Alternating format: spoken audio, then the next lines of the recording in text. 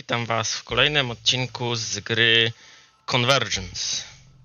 Więc ostatnio graliśmy sobie na streamach, a dzisiaj przychodzę do Was z odcinkami. Więc y, na ostatniej transmisji y, skończyliśmy na walce z Warwickiem. Potem y, odwiedzaliśmy przyszłość, gdzie próbowaliśmy na początku przekonać e, rodziców Eko, żeby jednak nie wyjeżdżali z Zaun, ale ostatecznie e, pozwoliliśmy im opuścić Zaun. A teraz y, mamy kolejne zadanie. Mamy udać się do zachodniej Antresoli i dostać się do kultywatora. Ponieważ Eko. Y, no, Eko stwierdził, że po prostu musi sobie kilka rzeczy, powiedzmy, przemyśleć, zanim będzie w stanie tam y, działać dalej z przyszłym Eko. Więc bez zbędnego przedłużania udajmy się w tamtą stronę. Czyli y, musimy wyjść na górę i iść do tej, w tą stronę, tego miejsca, gdzie w sumie też ostatnio byliśmy, odkrywaliśmy. Myślałem, że tam coś będzie. No i teraz się dowiemy, co tam jest.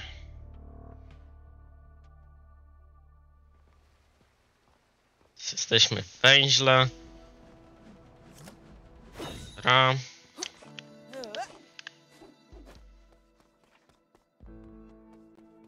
Ogólnie możliwe, że teraz pojawi się więcej odcinków z tego niż, yy, Chyba nie wychodzisz w tym do ludzi. niż streamów, bo yy, no po prostu czas. Nie mam aż tyle czasu.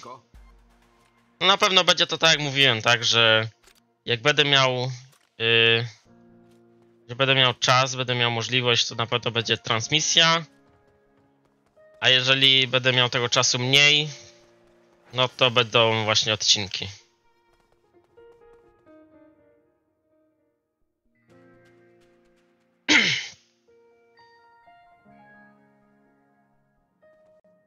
Jesteśmy w zachodniej antresoli. I musimy dostać się tam, do tej windy. Dobra. Ojdź. W ogóle... Czekajcie chwilę. Yy, ostatnio właśnie stwierdziłem, że jest trochę za łatwo. Ale myślę, że zostawię na razie ten poziom trudności. Na razie nie będę go zmieniał. Najwyżej jak coś, to potem się będzie, będę tym bawił. Się tym pobawię jak coś. Lecimy, lecimy. Dobrze lecimy? Dobrze lecimy, okej. Się wolałem upewnić.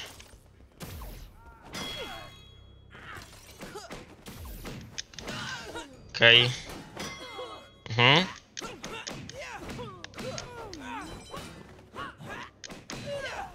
No dobra. Zagrałem sobie przy okazji, yy, jakby stworzyłem sobie nową grę i zagrałem na tym najwyższym poziomie trudności i no muszę przyznać jest trudny.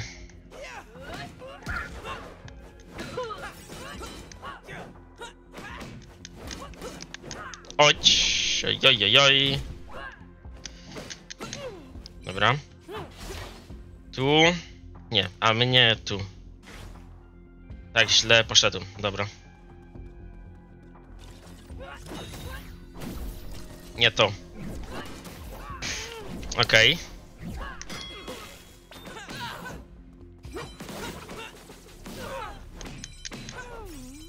Dobra.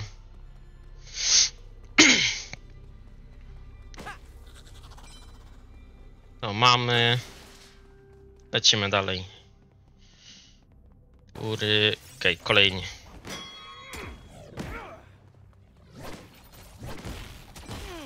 Okej. Okay.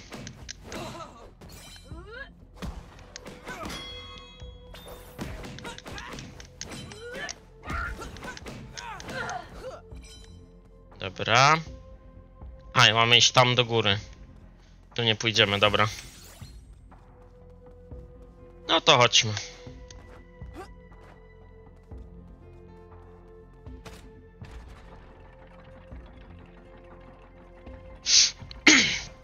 Mamy nowy cel, dostań się do kultywatora. Czyli tam. Czyli w sumie tam, gdzie doszedłem wczoraj. O. O, Zarkos. Korino, moja droga Korino, mamy do omówienia pewną sprawę. Zapomniałaś? Teraz nie jest najlepszy moment. Obawiam się, że to sprawa niecierpiąca zwłoki. Zależy od niej jedna z twoich inwestycji. Nie, ja nie mogę cię teraz przyjąć. Lepiej już idź. Kto tam z tobą jest? Nie powiedziałaś chyba niczego o Sintixi, co? Musisz. Przyjdź później. Hmm, a więc Korina ma gości. Zostańcie tu i obserwujcie, kto wchodzi i wychodzi. Ojdź. Okej. Wiedzieć, po czyjej ona jest stronie, jasne? Jasne, szefie. Niczego nie rozumiem. Razem bylibyśmy najpotężniejszymi hembaronami w historii. Okej. Corina Veraza i jej kultywator mają coś wspólnego z tą całą sprawą z Sintixi, to dlaczego nie chciała o tym rozmawiać? Ach, coś się musi dziać w tym kultywatorze. A mnie może uda dostać się do środka. Okej.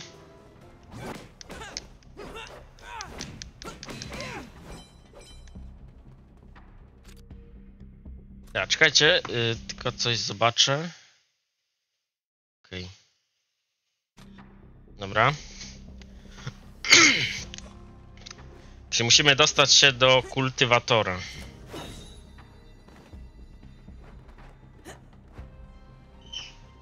No to idziemy.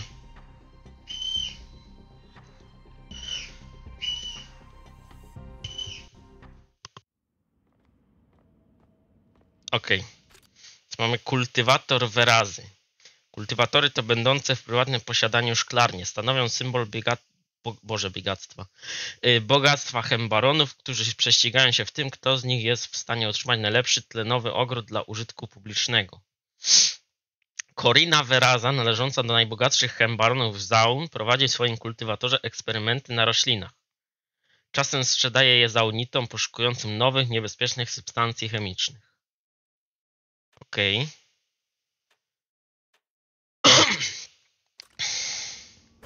Idź w górę, by dostać się do tlenowego ogrodu. O! Dojrzały wrzodzeniak. Tym hardym wrzodzeniakom musisz przyłożyć raz lub dwa więcej, żeby się ich pozbyć. Te wrzodzeniaki mogą przyjąć dwa razy więcej obrażeń niż ich młodsi koledzy. No dobra. Zapamiętam.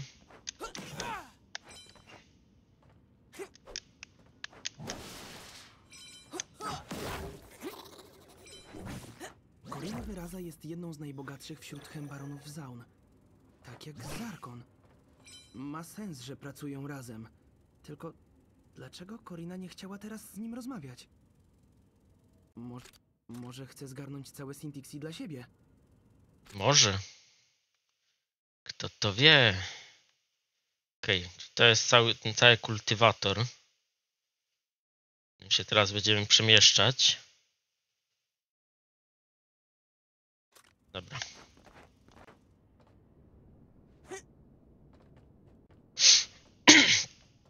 To chodźmy. Górę. Okej. Lepiej patrzeć pod nogi. Mhm. Czekajcie. No dobra. Właśnie tak się coś spodziewałem. Co to jest? Czy to jest Zak? Nie wiem. Ale się dowiemy. Yy, a właśnie tak coś się spodziewałem, bo był dźwięk jak przy tych pojemnikach, więc... Więc no.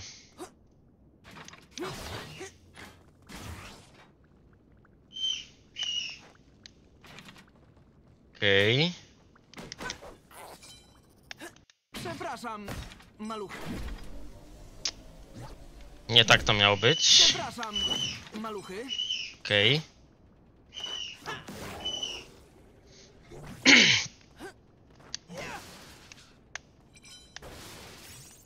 Dobra.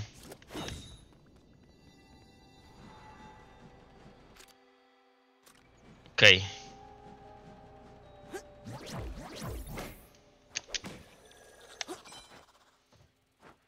Już gdzieś jesteśmy. Dobra.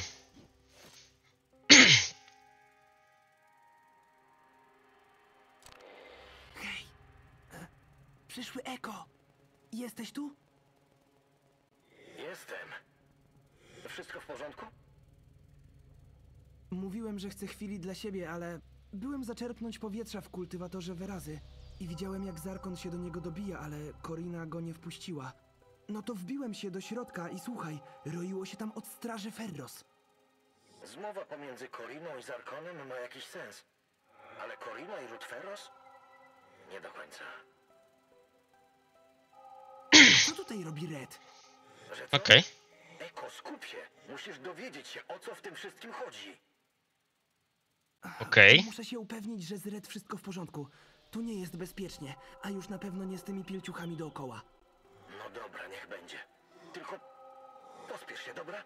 Nie mogę tu za długo czekać. A rozważałeś kiedyś podróż w czasie czy coś?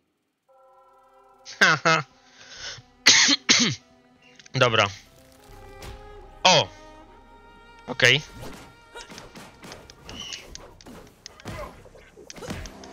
O! Okej.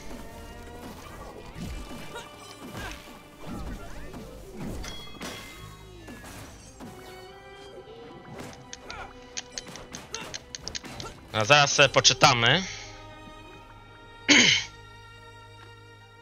E, zobaczmy. Będzie pisało? No, to jest Zak. Dobra. E, zobaczmy wrogów.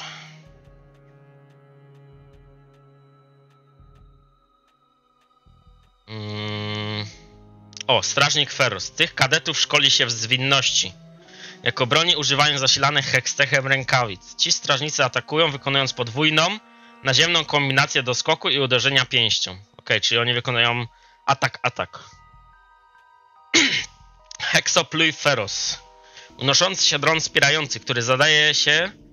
Aha, który zdaje się skanować pomieszczenie w poszukiwaniu kogokolwiek, kto mógłby chcieć przeszkodzić w działaniach rodu Ferros. Te golemy szybko wystrzeliwują dwie heksadefowe strzałki, jedna za drugą. Czyli...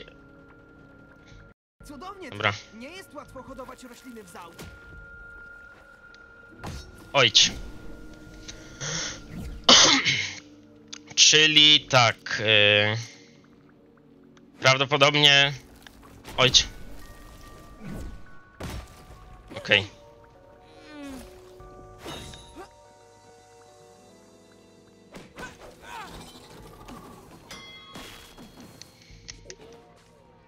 Okej.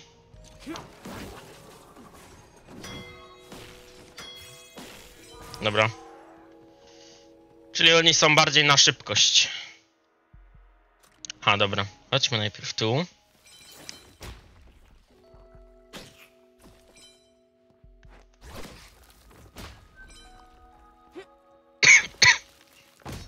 Okej, czyli to dobra.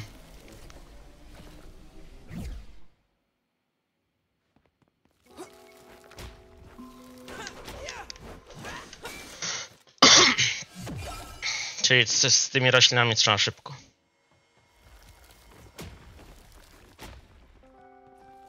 Dobra.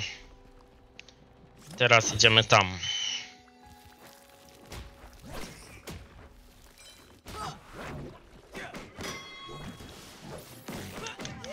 A, ale jeżeli ich zeskanuję... Okej. Jeżeli ich zestunuję, to nie robią drugiego ataku. Ród Ferros doskonale potrafi wykorzystywać butlowszczoły do własnych celów. Te szkodniki lekkie są na hekstech, czy co? Te latające natręctwa mają jeszcze bardziej przewidywalny sposób latania niż ich napędzanie hemtechem kuzyni i wypuchają przy dotyku. Pamiętaj, by atakować je z większej odległości. No, właśnie się o tym przekonałem.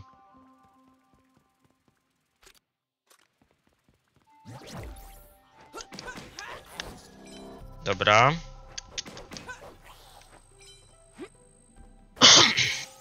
O, fajnie.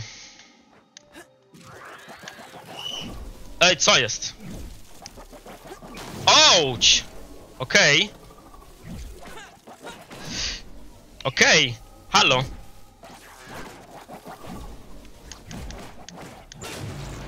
Mhm. Okej. Okay. Da, to trzeba przemyśleć. Co oni robią?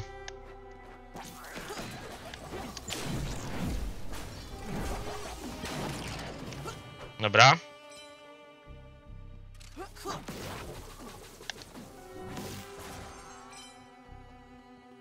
Okej. Tu już się podnosi poziom trudności, definitywnie. My mamy iść tam. Chodźmy tu.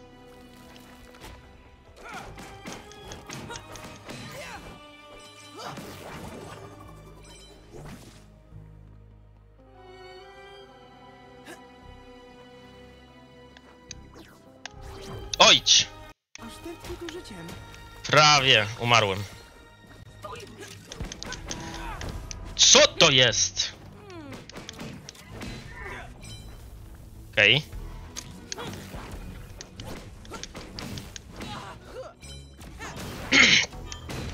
Mhm.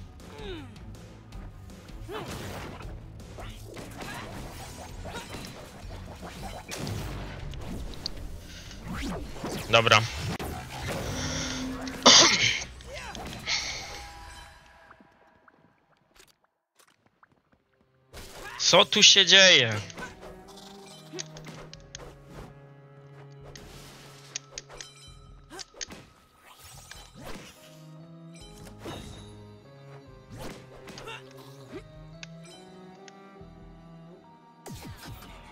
Okej. Dobra.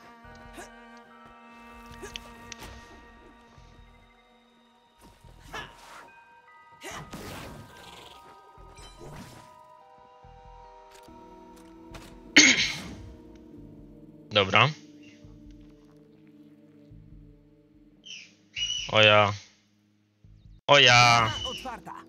O ja. Czemu oni mi ich rzucają aż tyle od razu?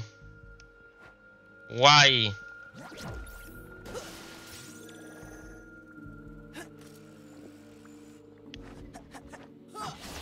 Okej.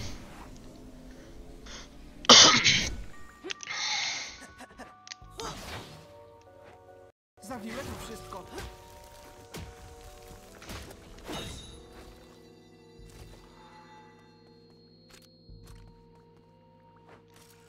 Czy każdy musi przedzierać się przez te kolce, żeby odwiedzić kultywator? Pewnie nie, bo to tylko tak wiesz. Ty, bo jesteś głównym bohaterem i w ogóle.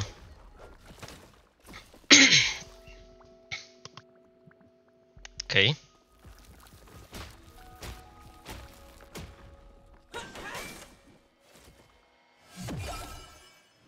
Dobra, rzadka część. Kolejna.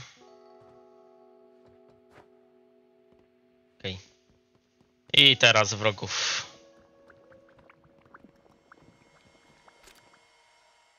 Cała masa. A, nie tędy.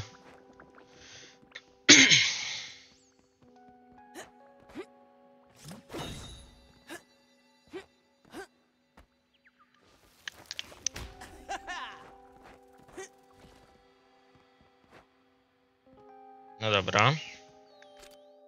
Tędy. Boże, już nie lubię tych przeciwników.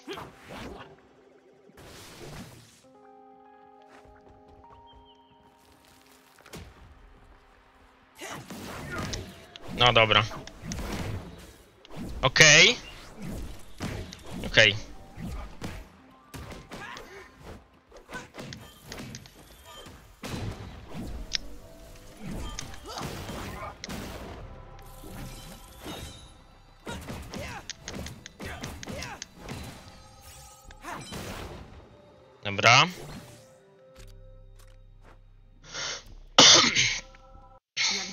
Dookoła tyle roślin. Ale pilciuchów nie do końca.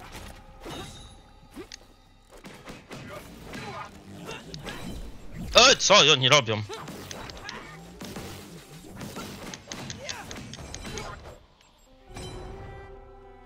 Dobra. Eee, kodeks, wrogowie.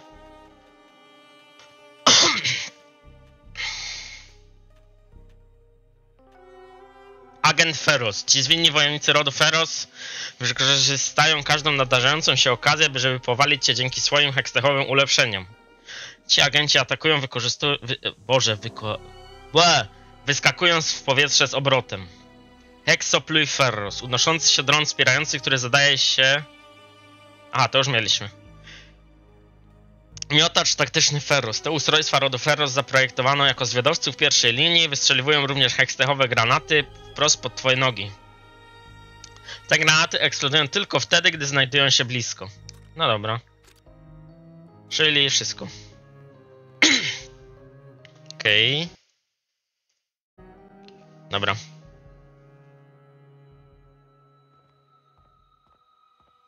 To idziemy dalej. A, dobra. Okej, źle. Teraz.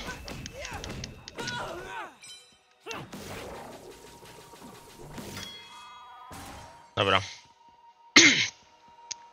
A, właśnie, jeszcze jest ten. Yy, właśnie, jeszcze jego nie przeczytaliśmy.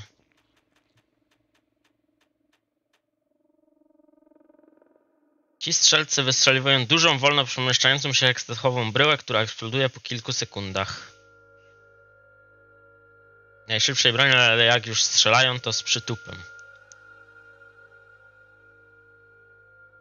Te golemy wybuchają po krótkiej walce, tworząc poziomy, śmiercionośny promień hekstechu. No, już zauważyliśmy. Ta drobna przenośna fabryka nieustannie tworzy butlo pszczoły ferrosów. Dzięki wzmocnieniom pancerza jest w stanie odbijać nadlatujące pociski. No, to też już wiemy. I na razie to tyle. Dobra. Zawsze jest też mniej miłe wyjście. Lepiej zacznij gadać, jeśli chcesz uniknąć z nią rozmowy. Wszystko już powiedziałam. Kryształy Sintixi to wymysł Poindestrów. Nie mam z tym nic wspólnego. Doskonale wiemy o twoich chemicznych eksperymentach, Corino. Dobiłaś jakiegoś targu z Zarkonem. Chciał, żebym przeprowadziła testy i tyle. Ale to paskudztwo jest niestabilne. Więc wszystko zwróciłam. Nie wierzę ci. Dalej przechowujesz Sintixi dla Poindestrów. Nie! No, już nie. Twoje słowa nie mają siły przebicia wyraza. Skończ ten teatrzyk i powiedz, gdzie trzymasz Sintixi. Zacznij gadać, zanim dotrze tu nasza wywiadowczyni. Cholera. Co ona zrobiła z tym ładunkiem Sintixi? Chwila, moment. Te skrzynie całe są w pyle z Sintixi i są zaadresowane do Drake'a i Vale Poindestrów. Czyli Drake i Vale mają teraz wielki zapas Sintixi. Dobrze wiedzieć. Okej. Hej, właśnie usłyszałem coś ciekawego. Zdaje się, że Corina Veraza współpracowała kiedyś z Poindestrami. Ma to sens. Hembaronowie lubią trzymać się razem w trudnych czasach. Ale oddała całe swoje Sintixi z powrotem Drake'owi i Vale. Znalazłem pustą skrzynię zaadresowaną do nich. Corina musi się bać, skoro ujawnia tajemnicę. Mówili też coś o jakiejś wywiadowczyni w drodze? Mm, Nie wiem. Zobaczę, czy uda mi się znaleźć Red. Potem spotkamy się na szczycie kultywatora? O! Cóż, może powinniśmy ją po prostu zostawić. Z tymi wszystkimi strażnikami dookoła? Szybko to załatwię, nie bój. Okej. Corina Veraza, zamożna hembaronessa, która prowadzi szemrane interesy w swoim szklanym kultywatorze. Delikatna, choć jednocześnie chłodna, Corina inwestuje w organiczną innowację, jednak finansuje również kilka budzących wątpliwości projektów z dziedziny chemtechu. Nic więc dziwnego w tym, że zainteresowały ją kryształy Sintixi i nie stroniła od prób zamanipulowania poindestrów, aby ci zaangażowali ją w projekt. Okej. W ogóle nie wiem, czy zauważyliście, ale ten motyw muzyczny, który tam leciał, był motyw muzyczny Kamil. A to, że są tutaj Feros, y, Ruth Feros jest tutaj i fakt, że on właśnie mówił coś o, o tym, że nie chcesz, żeby ona przyszła, to myślę, że czekajcie, że tu na końcu spotkamy Kamil. Będziemy z nią się klepać, tak powiem. A zobaczmy gadżety. Okej, zobaczmy, czy coś możemy stworzyć. Aha, ja mam to, ale nie mam tego wyposażonego, dobra. Okej. Mhm.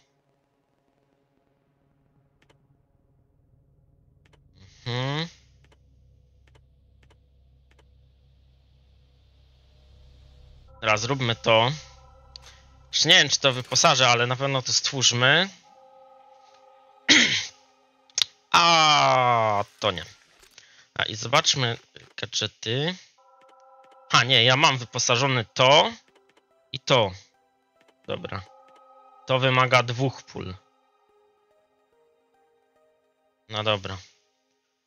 Czyli na razie jesteśmy bez. y, Bez niczego, no. Dobra.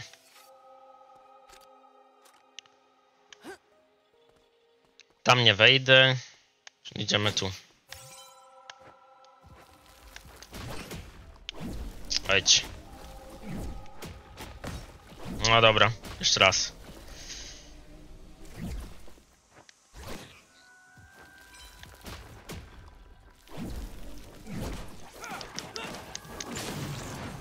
Aha. Okej, ale ten promień nie zabija na raz. To jest jakiś plus.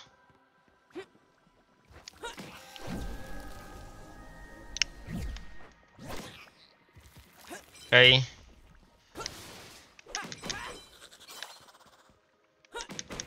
Na pewno y, już to mogę powiedzieć, że rodu Feroz nie lubię.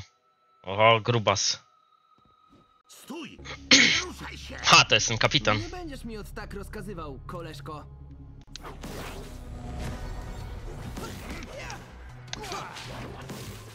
Okej.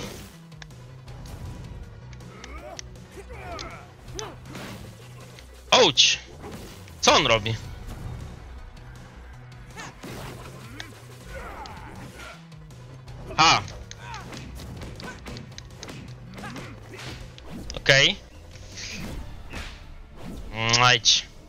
Dobra, to był błąd. Tak jest lepiej.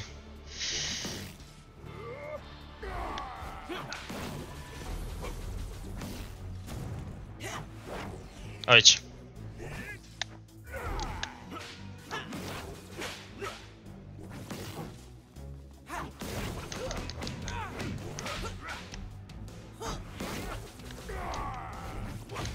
Okej.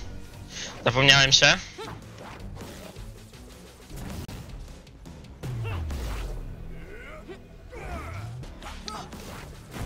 Dobra. Kapitan Ferros, wysoko postawiony strażnik rodu Ferros, który jest bardzo groźnym wrogiem. Kapitan doszedł do swojego wpływowego stanowiska, pomagając głównej wywiadowczyni podczas niektórych z jej trudniejszych misji. Pewnie Kamil. Zadanie kapitana często polega na zmęczaniu celu, co przygotowuje go do eleganckiej egzekucji w wykonaniu głównej wywiadowczyni. Kamil. Kapitan jest bardzo dumny z możliwości asystowania jej i czerpie korzyści ze swojego powiązania z tak wpływową osobistością, co objawia się chociażby w tym, że został wyposażony w najwyższej jakości heksechowy sprzęt dostępny w Piltover.